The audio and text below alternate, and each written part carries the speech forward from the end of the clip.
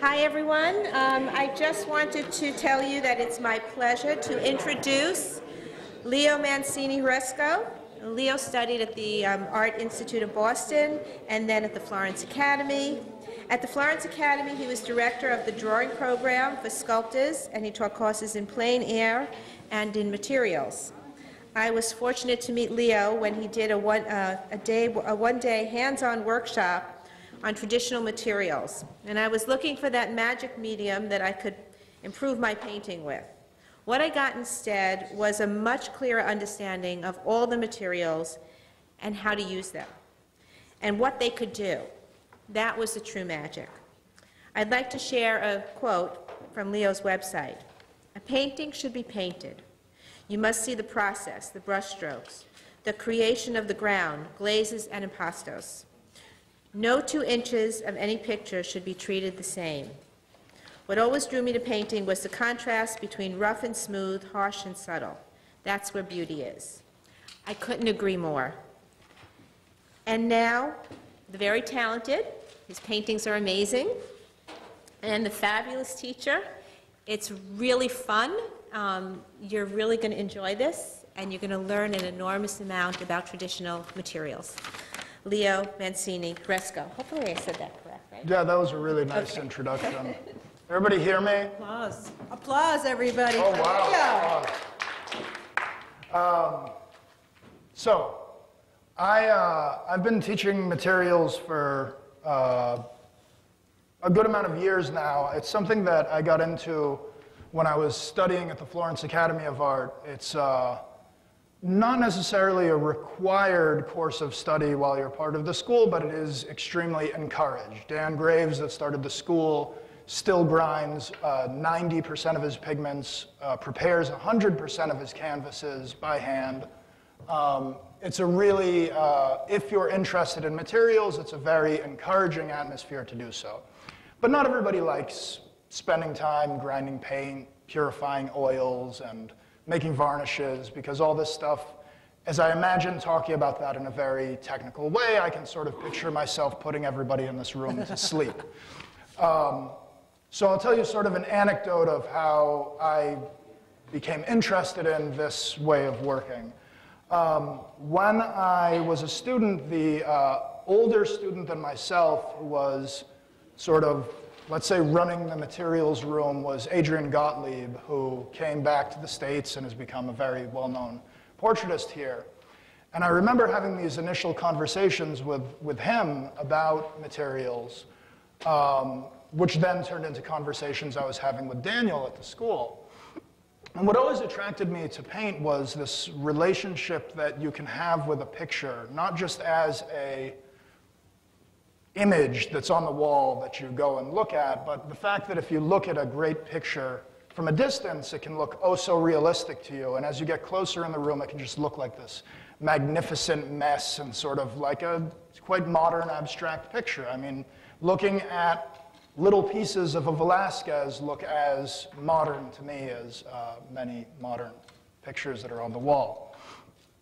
So because of this, uh, this aspect of painting being very interesting to me, this, uh, I guess you would say like a, a more impressionistic way of viewing, that it's not everything that is not maybe explained literally, but explained through pieces of physical paint. I really like painters like uh, Antonio Mancini or, or uh, Ilya Repin, I mean, painters that used a good deal of paint and created this almost theatrical effect of what the painting looks like from a distance and then what it looks like up close. So, as I said, I don't like very much the idea of um, running this like just a lecture. I never liked lectures when I was in school, and I'd like to sort of stop throughout this to answer questions because the more that materials can become interactive, the easier it is to conquer what seems initially like a, a really complex subject. I never liked science in school myself, but I've learned a good deal of chemistry throughout doing this. So I have one big word for everyone. Maybe a lot of you already know this word.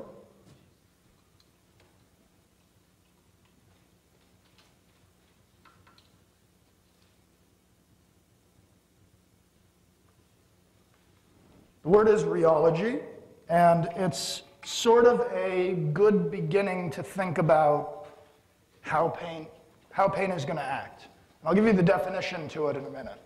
Um, this became important because as a painting student, I would go and look at great masters. I mentioned Velasquez. Everybody looks at Rembrandt with this reverence, right? You look at Rembrandt, and beyond the beautiful uh, descriptive image making he did, you look at these things up close, and they're just made of these magnificent piles of paint, you know, sort of laid down one next to the other. And for me, that's always been very enthralling. And it became frustrating as a student that I noticed that no modern picture looked anything remotely close to that sort of aesthetic. Um, the fact is, is the materials that we use today, as good or bad as they may be, they're just different than they were 50 years ago, 100 years ago, 200 years ago. Some are better, some are worse.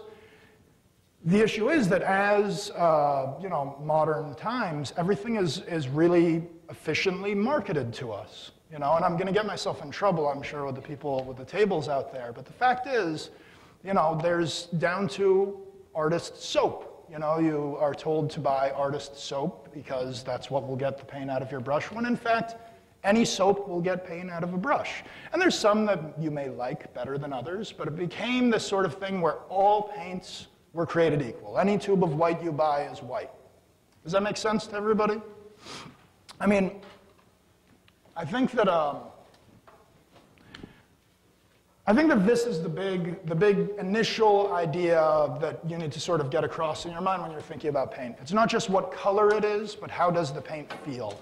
Rheology is a term that was coined not very long ago, but essentially what it means is the, the study of the flow of a semi-solid liquid substance. So paint in its liquid form or it could be toothpaste or peanut butter. It's how much does it flow and how much does it stay very stiff.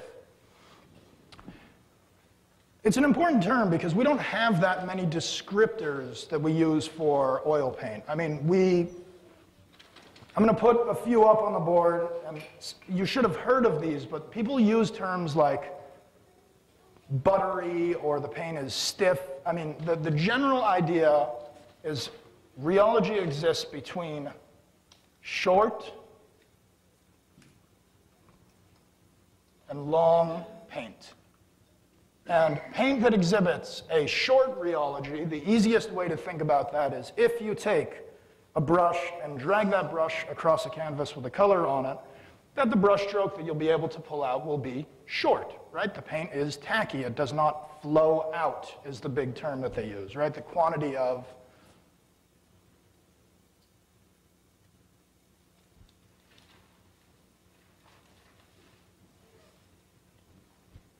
So this is an important thing to, to, to, think about because not only are all colors sort of different by what color they are, how fast they dry, or whatever it is, but if we can organize our thoughts, it becomes easier to pick which materials to use. I'm sure everybody's been in the position that you go in the art store and you look at all these different tubes of paint and you're like, uh, you know, you have this one and you have this one, and your friend told you that this one was pretty good, but you're used to buying this one already, and that one's a little more expensive or cheaper or whatever it is. Um, this is a way of thinking about uh, how to organize pain in your head. And learning materials, um, I find to be a very similar thing to learning how to cook. It seems sort of daunting at first. Everybody eats, right? You all use paint. But at least uh, in learning more about the process that things are made. You are not locked into cooking at home a six hour dinner for yourself every time. It just gives you a better knowledge of how to read a label or understand what's on the box before you put it in your body. Same thing for paint, right? It's about a process to sort of understand what you're using. So paint that would exhibit a long rheology would really flow, flow far from the brush. In general terms, it is in a paint manufacturer's uh, best interest to make paint all exhibit a short or uh, buttery, as they would call it, rheology.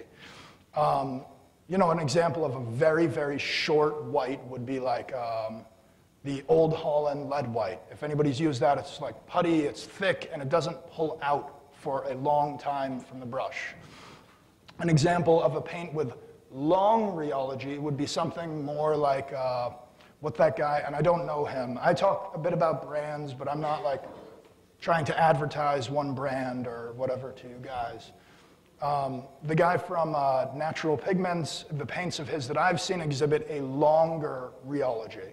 So when you sort of squeeze it out of the tube, stick your brush in it, how far it flows out, how readily it mixes with other colors.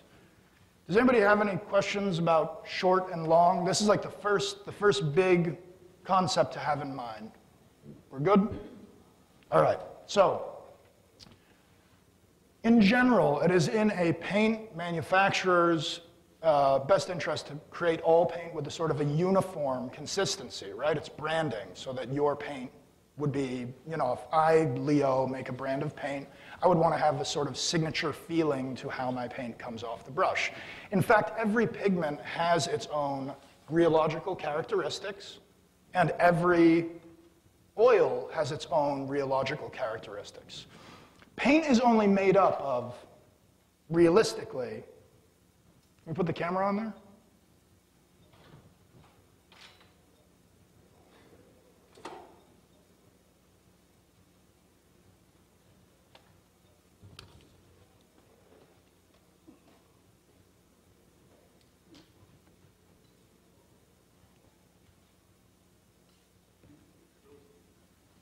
Do you see? This is just yellow ochre and linseed oil. And if you're patient with me for a second, all I'm doing is sort of mixing the same way, and I use cooking, and I like to cook too. So um, this is similar to when you're trying to, you know, wet flour if you're making bread or whatever. Initially, it's kind of hard to get together, but you want to get it to flow as one mass. So a lot of like misinformation about making paint. The first big piece of misinformation is that it's really hard to do. The second one is that it's extremely dangerous. There's a lot of things that we do that are dangerous, and there are dangers to making paint yourself. But like anything in painting, I mean, this is about learning uh, control and about learning a better uh, connection with how you do picture making. Already at this point, if I was to use this today,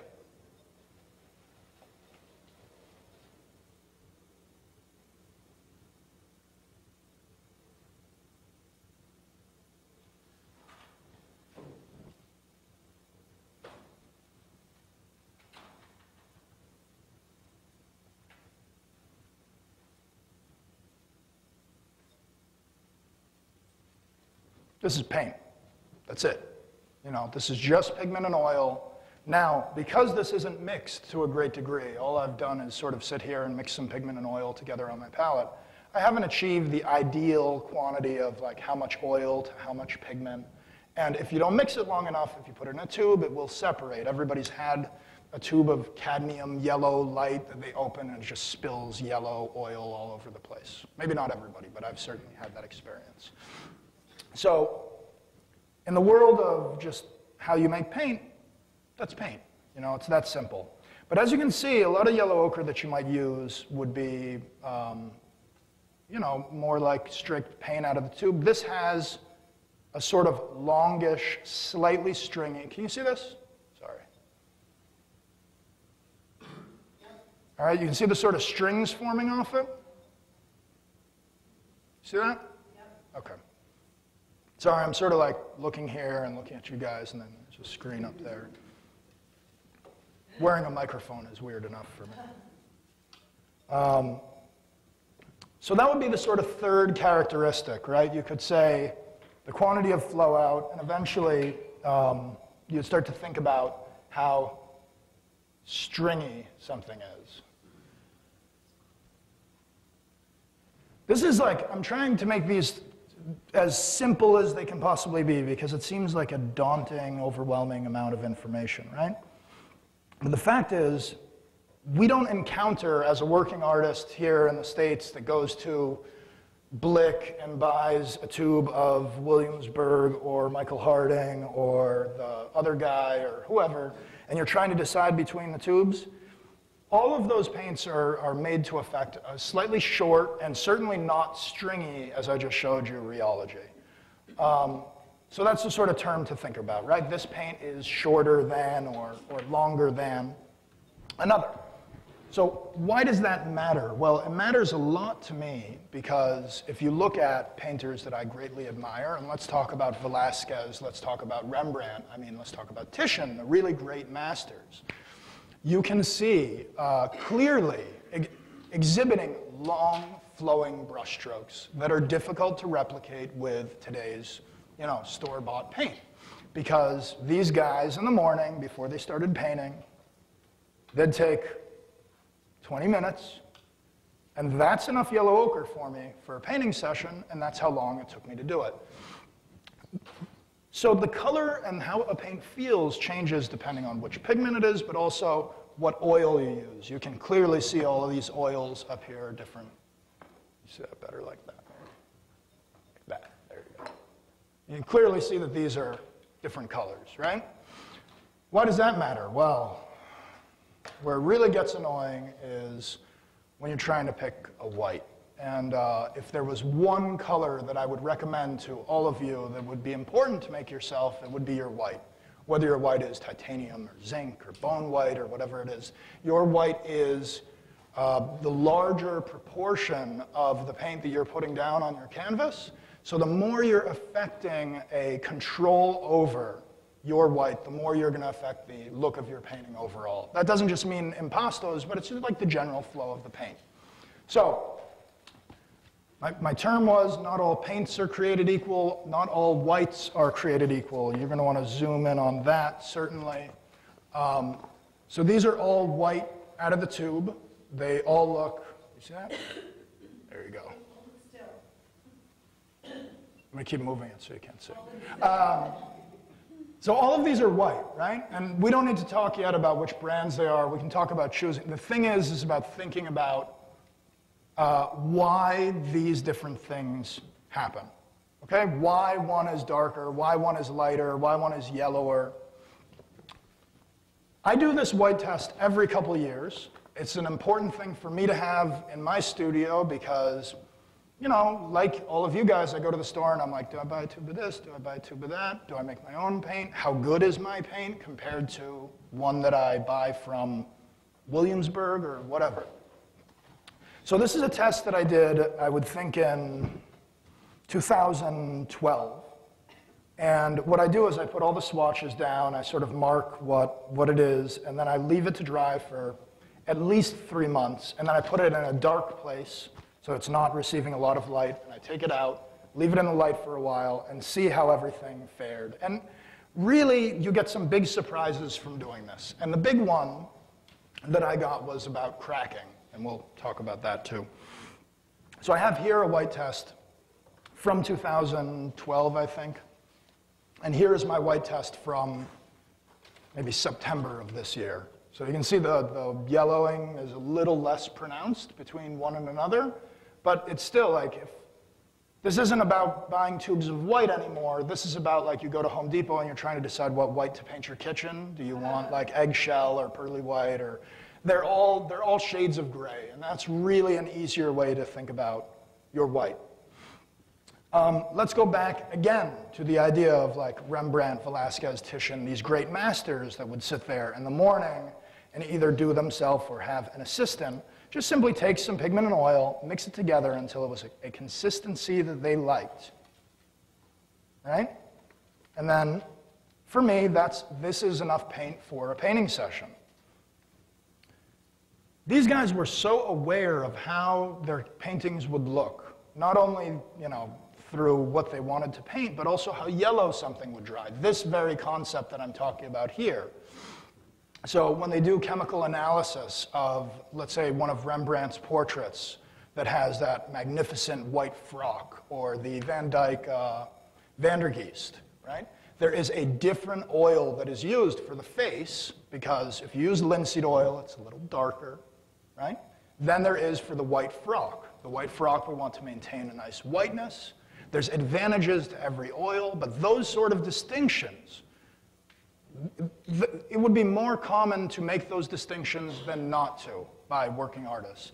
And this is something that, although I think it's, it's wonderful that you can go down to the store and buy any variety of pigment you want from any country in the world, certainly more than these guys had at their disposal, it's a bit of a shame that people have lost the sensitivity to what oil they're going to use, what pigment they're going to use, when they think about what they want the desired effect of their painting to look like six months, a year, two years down the road in a client's house. The thing that hasn't changed at all is that in using traditional materials, you get a little bit of a greater control over what your painting will look like down the line. When I paint a portrait and I want to sell it for $10,000 to a client, I sleep a little bit better knowing that I know what my white is going to look like five or six down, years down the line, instead of when I buy a tube of paint and I'm thinking, well, it might turn out great and it might not. You really don't know what's in a tube unless, you know, unless you've done that sort of thing. You guys have any questions up until now? These are very quiet. What pigment do you use for white? So there's three different whites that are in common use. Um, titanium white is the most common. It is a white that has eclipsed all other whites. Titanium white is the same pigment that makes your toothpaste white. It is the same uh, pigment that is in cake frosting you give your children. It's uh, very common, uh, regarded as being pretty non-toxic white. Now, given anything in powder form you breathe, that's not great for you. But uh, titanium white is a really widely used pigment. It is by far the brightest, and uh, one of the slow, that's cool, that's good for me. I like breaking up the silence once in a while. Um, so titanium white is by far the, the brightest of the whites we use. It's very dense. Um, I want to avoid getting into like the, the particulars of it. Let's just talk about how white something is. Zinc white is also very white, a little bit more transparent. Lead white is the old white that was used. And uh, although lead white is, is quite a bit darker or cream colored, it has characteristics as well that are really desirable. And we'll talk about whites, because I have some whites here. We can talk about that in one second. I want to talk about oils first. So what are the oils that we use today?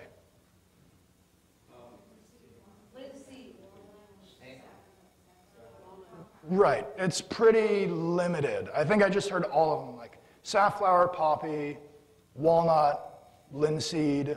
I mean, you can grind paint in other oils, but these are your basic vegetable drying oils. They're called vegetable drying oils because, you know, there's vegetable oils we don't use for painting, like olive oil. It's a non-drying oil. You mix your paint in olive oil, you put it on the canvas, it's going to stay wet for who knows how long. So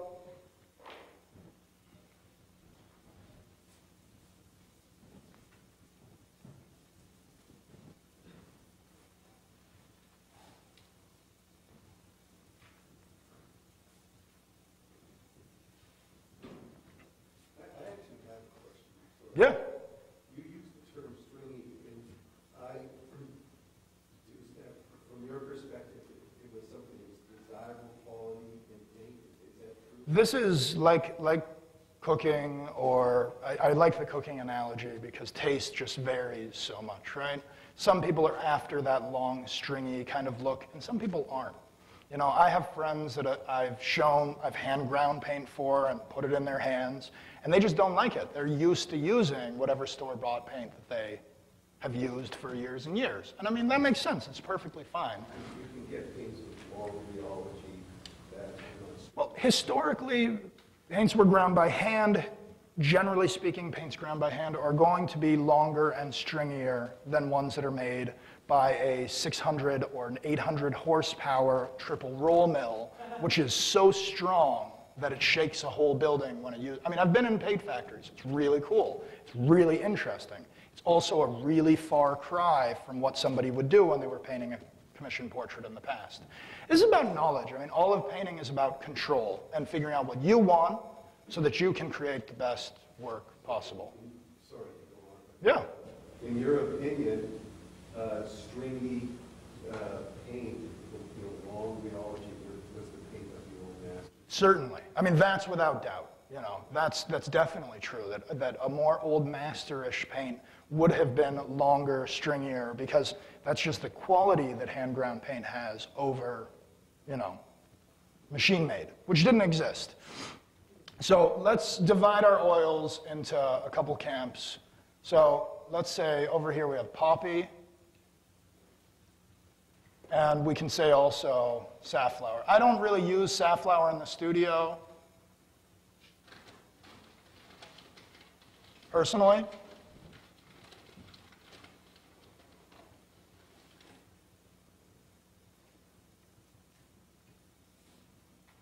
Leo, you have 15 minutes. That's going really fast.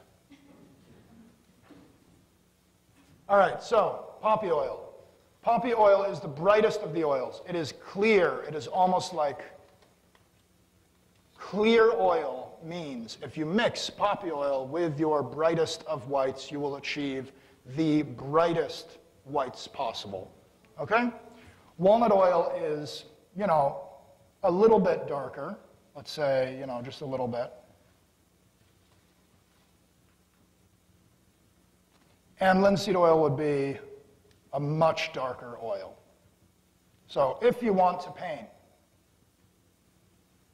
a bright white sash on a client's wonderful frock or, you know, an egg or whatever really white you want to paint, you are going to achieve the brightest highlight possible with that. Now, what does a paint maker call that? Winsor and Newton, I think, sells radiant white. So radiant white would be the brightest white that they make, but it's by thinking about the ingredients, you kind of know what you're getting out of the tube. You can read a tube of paint like you can anything else. It'll have the pigment index number on it, and usually the oil that it's made in. I avoid things that are blends when I see more than one pigment on a tube, just because that means it's something I can mix myself. My favorite is Gamblin Caucasian Flesh Tone, which is, you know, after Gamblin's Icelandic wife or something, and I think that that's that's really interesting that they color match, but you turn the lights off and people's skin are a different color. It's kind of a, a, a, strange way to market something, where instead you could teach people how to mix that sort of, which pigments they use to mix that is already more information than they're giving you.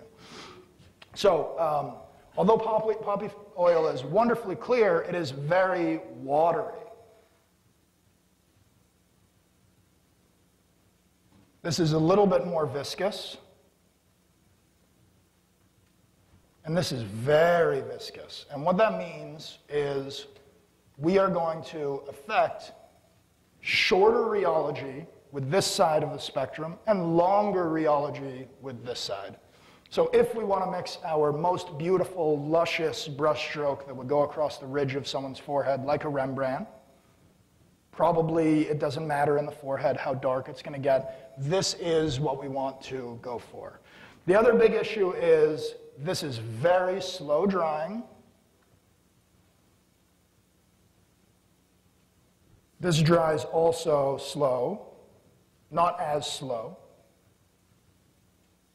And this is a faster dry.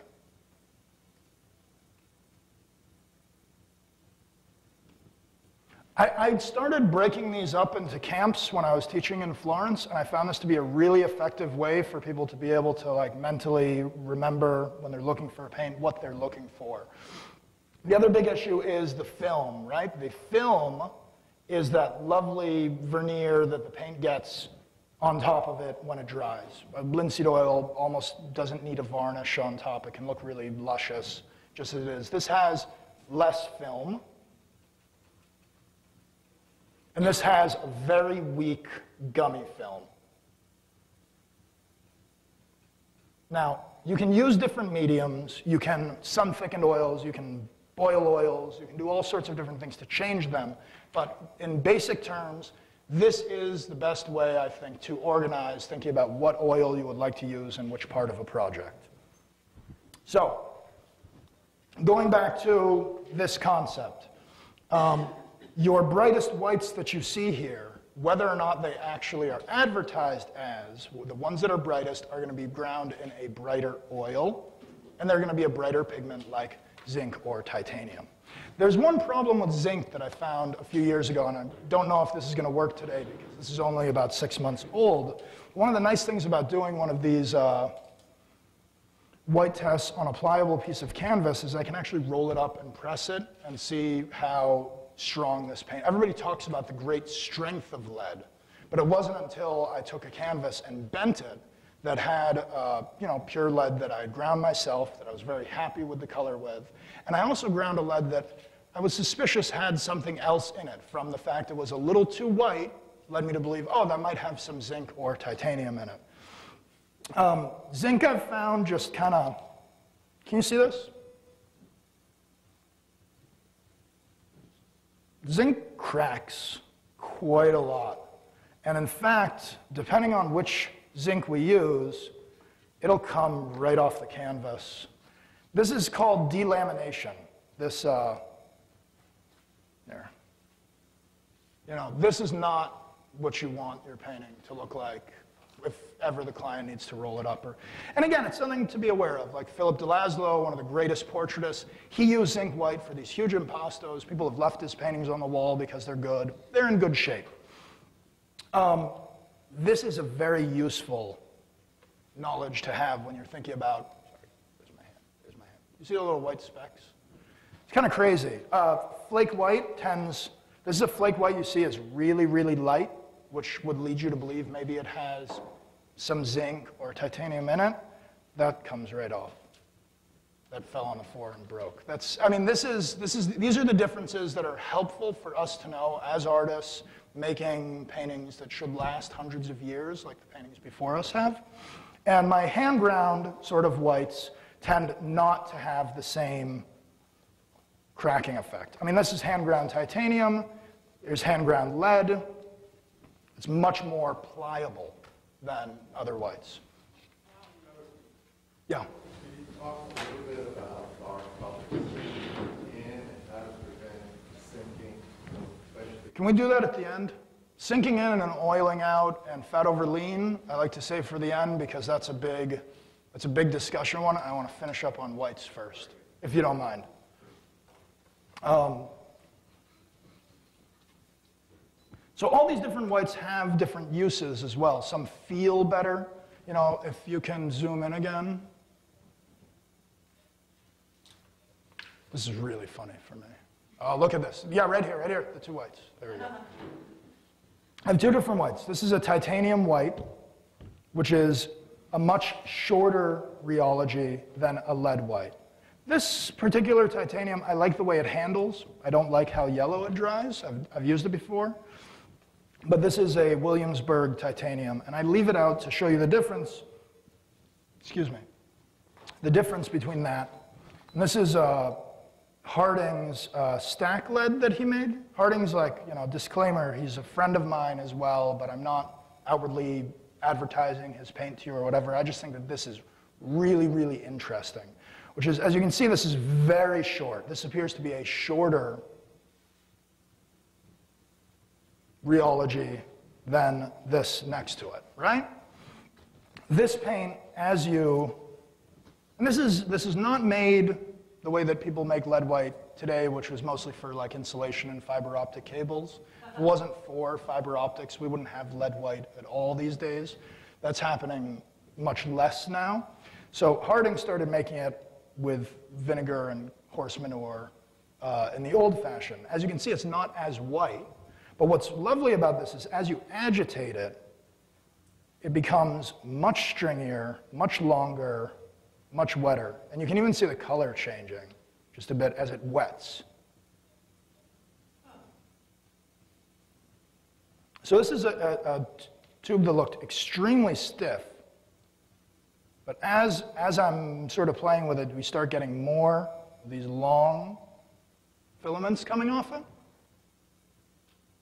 This is why historically uh, people have used lead so much, and I really love using lead white for portraits, because it is a short paint that exhibits also long, stringy characteristics, making it very unique and very different than what you can get. Isn't that cool? Um, I'm going to let everybody come up and sort of play with these at the end. But I think that uh, although this is like, it seems like a small deal, imagine the difference between sticking your brush and that and leaving an impasto down like that You know, that you can leave this beautiful little piece of paint. Like for me, I'm very interested in that sort of uh, mosaic of little patches of paint that come up to the sum of a very uh, finished or interesting or cohesive looking image. That just creates a different look than this stuff. You know, one is very thin and filamenty, and you can sort of pull across. And to me, reminds me a bit more of how Rembrandt would paint a beautiful gold chain on someone's neck. I used the gold chains would always get me. I look at them. Nobody can paint like. Well, the fact is, is paint that was done in this manner didn't exist on the market until really recently. If it wasn't for the fiber optics sort of lead white shutting down, I don't think they would have started to do it. I think George O'Hanlon at Natural Pigments is doing it too. It's really fun stuff to use. Given it's not really white, the darkest stuff on here is stack lead. So if you're after something that's really white, that's not the white that you want to use. If you're after something that has great handling consistencies, that would be something you would be interested in using. I mean, this is what I came here to sort of show you. Just sort of put on a table a few different things, take a little bit of the mystique away from it. I think that people are very um, uh, shocked by the idea of like, oh, grind your own paint. That no, that sounds. Who knows how many ingredients goes into it? Who knows how long that would take?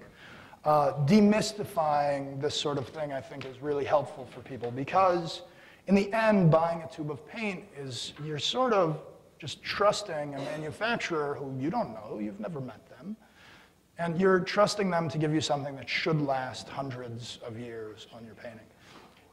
But I mean, it's further than just this like idea of how long something would last. I think it's also really important to think about like how well it handles or how easy it is to use.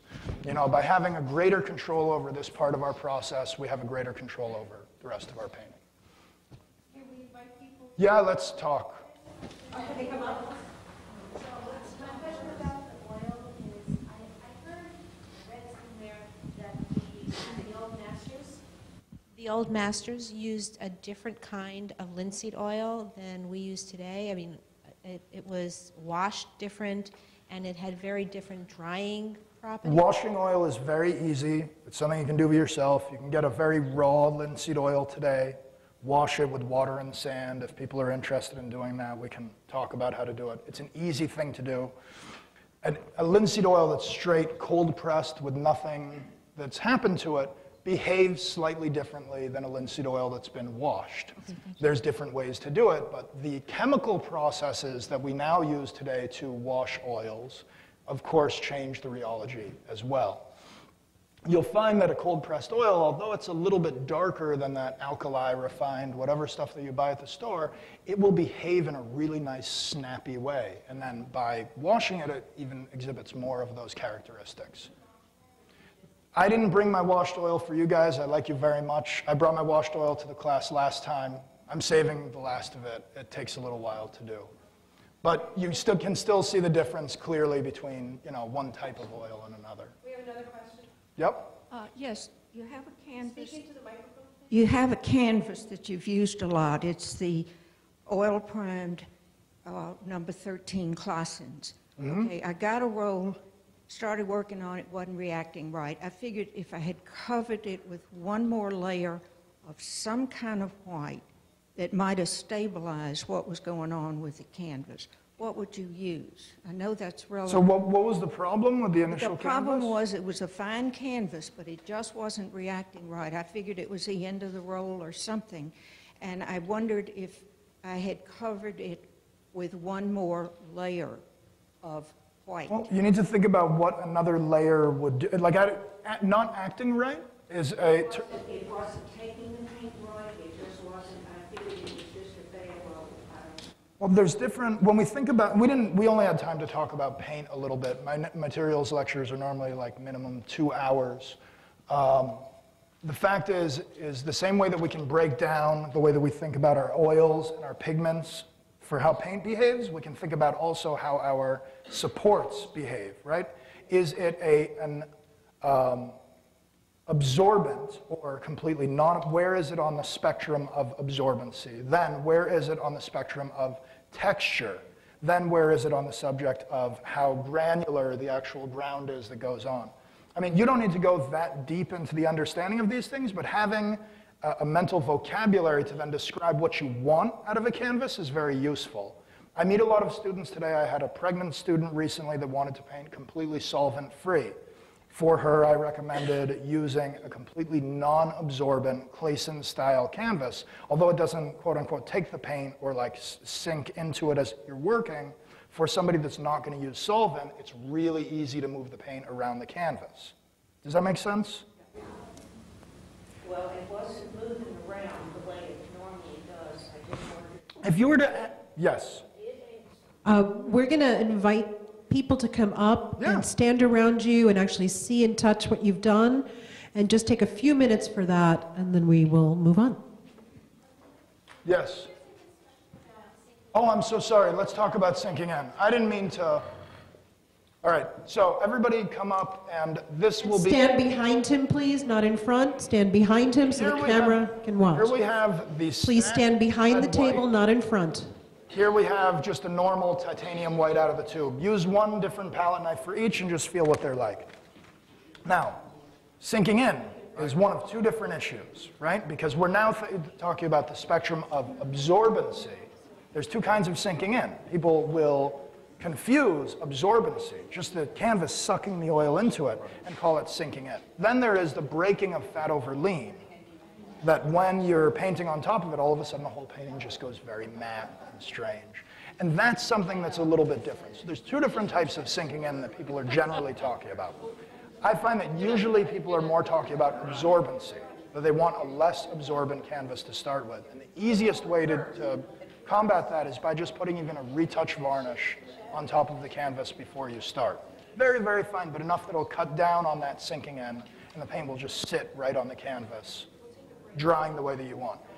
Instead, with the other type of sinking in, it has a lot to do, I think, with fat over lean and what medium you're using when and what quantity. I, I, have, I have oiling out bottle, which is a very clear oil, which I will use in the smallest amount just to resaturate any area that needs resaturation. And I'll either use poppy, walnut, or a washed linseed, but it's going to be one of the clearest oils that I can, and I'm going to remove almost all of it at the end with a rag. So Okay, two more minutes. Did everybody get a chance? Come on up here before we get kicked out, or I get kicked out.